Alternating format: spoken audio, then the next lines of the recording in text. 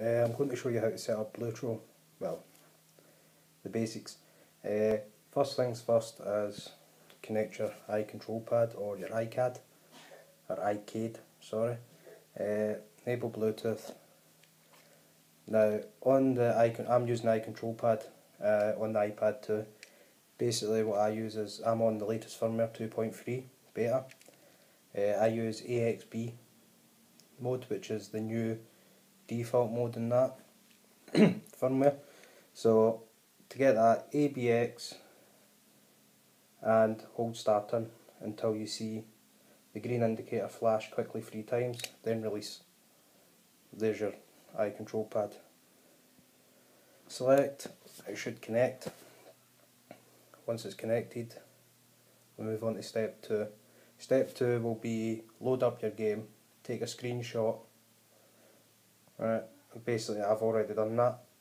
Um, if I don't, if I load the game up now, it'll stop recording uh, my voice through the microphone on the iPad too. I'm guessing that's a bug from display recorder. But anyway, Blutrol, plus sign, plus sign, select your game, in my case Street Fighter, so SFI dash, landscape,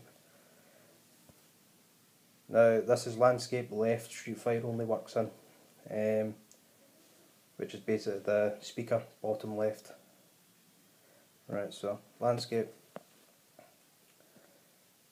On the latest beta, the icon, the iControl pad buttons are all different. Um, 2.3, would be A, 7 is X, 6 is B, 8 is Y, 9 is the right back button and 0 is the left back button. E1 is start, E2 is back. Done. That's that's it. That's all you need to do. Next thing, I'll load up Street Fighter. Um, it's already running, but as soon as I do that, I won't be able to speak anymore. So here you can see it working.